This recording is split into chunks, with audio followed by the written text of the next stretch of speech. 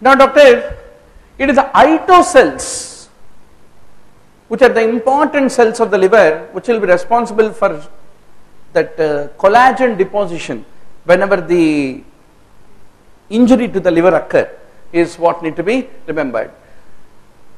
They are typically perisinusoidal, frequent in zone 3, they have fat vacuoles and uh, they are also responsible for the vitamin A storage and uh, they secrete the collagen and responsible for the pathophysiology of the cirrhosis of the liver is what need to be remembered. Nausea, vomiting, diarrhea after eating fried rice in a Chinese restaurant, Bacillus cereus is what need to be remembered. Septate hyphae, classical of aspergillus. Enterococcus is group D. Influenza is a single stranded RNA. And uh, pneumococcus, what are the important features of pneumococcus? Classical, traditional question. First, inulin fermentation. Pneumococcus ferments inulin. Its brother, Streptococcus pyogenes, does not. Bile solubility. Pneumococcus is soluble in bile. Optochin, sensitive to optochin. Catalase, both catalase and oxidase negative is the pneumococcus. So these things, microbiology made ridiculously easy or simple or uh, whatever. You need to remember uh, these facts. Now give me an answer doctor. What is this organism? Cell wall is unusual that it lacks muramic acid in this. It cannot make its own food ATP. It is an obligate intracellular organism. Every time it goes to the next door uh, roommate and eats his food. It has elementary body, reticulate body and we use azithromycin. Chlamydia. Everybody shouting out the answer. Dr. Dilip, Dr. Shiva, Anuja, Karnul, everybody. That's good. Chlamydia is what need to be remembered. So you need to have some flashcards always to spice up uh, the preparation in this last uh, 30 40 days doctor. Obligate intracellular is everything except mycoplasma. How many thought mycoplasma is also obligate intracellular? Mycoplasma is the smallest free living uh, bachelor. Without uh, शादी बच्चे school में drop करना fees भर्ती करना वो सब नहीं है and unless it is a um, cellular medium on a cell free medium it can't grow. Uh, I mean generally obligate intercellular parasites. But mycoplasma can. Whereas rickettsia they also do not grow in the cell free medium is what need to be remembered. If you want to grow anaerobic organism what is the best way? Most reliable is McIntosh Fildes anaerobic jar is what need to be remembered. Smith Noguchi's medium, little Japanese we should learn for NEET PG. Loeffler's is Corynebacterium. Robertson cooked meat medium is typical of Clostridium like organism. Smith Noguchi is for the spirochetes which are anaerobic organisms. In flash process, how much heat do you use, doctor? 72 degrees for 15 to 20 minutes. Holder method 63 degrees for 30 minutes. Useless information.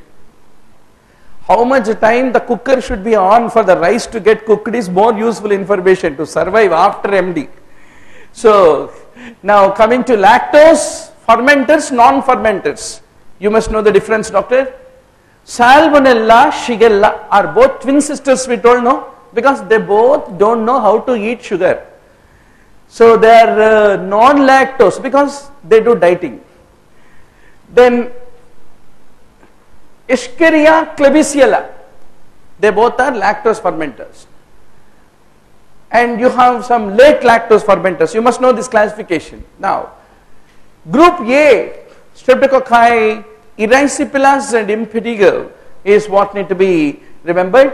Now, what are halophilic, non-halophilic vibrios? Vulnificus, Alginolyticus and Parahemolyticus, they're all sea-loving, beach-living uh, halophilic uh, organisms basically. Now coming to the typhus, we use the Weil-Felix reaction.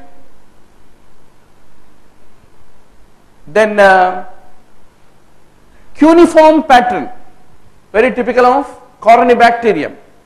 So you all know Streptococcus, Staphylococci are chains, Meningococci are pairs, Corynebacterium are Chinese pattern is what need to be remembered.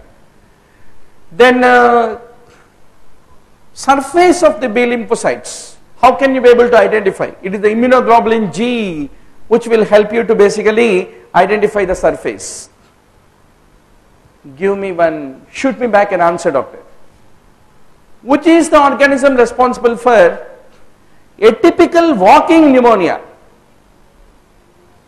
X ray देखे तो रोने लगता। मगर आदमी को देखे तो हंसने लगता। A happy man walking with a crying x ray what you see that's right we get a answer uniformly from everybody yes mycoplasma that's right mycoplasma pneumonia Eaton's agar since it doesn't have cell wall it doesn't stain with Gram stain and you treat it with not the cell wall synthesis inhibitors but with tetracycline and erythromycin which are the main part of the treatment is what need to be remembered. Ultimately examination is all these single liners and uh, hot shots. First time surprise, second time ah, third time routine.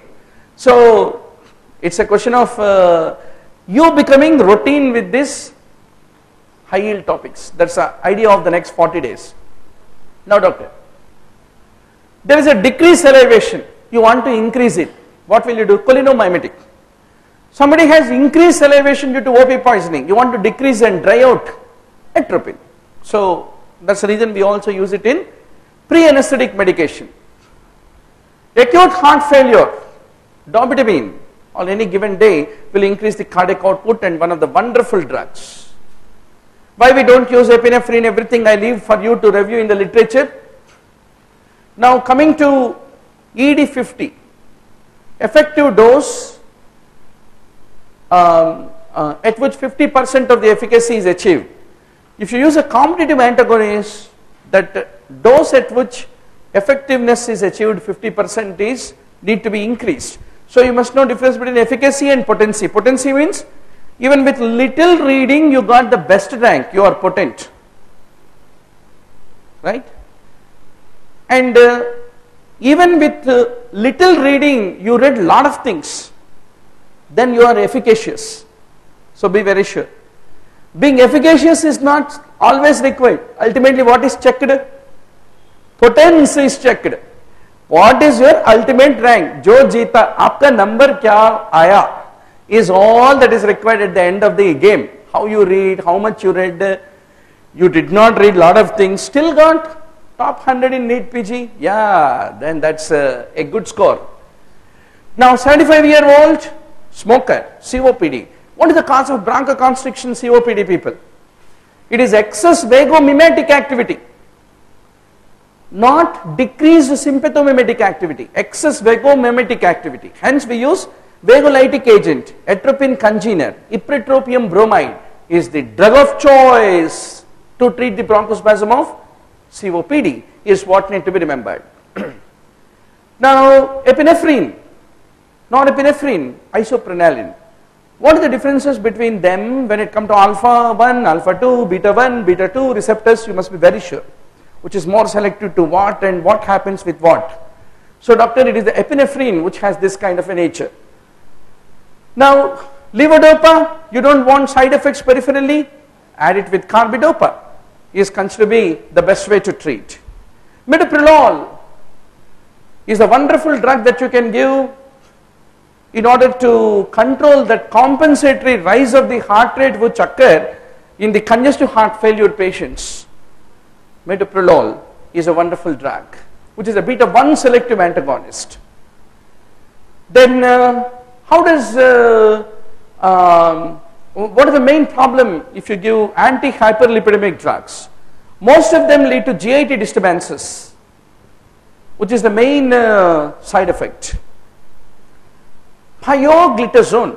Why do you want to give pioglitazone to any patient? Suppose if his uh, secretagogues, what are secretagogues? Sulfonylureas, everything.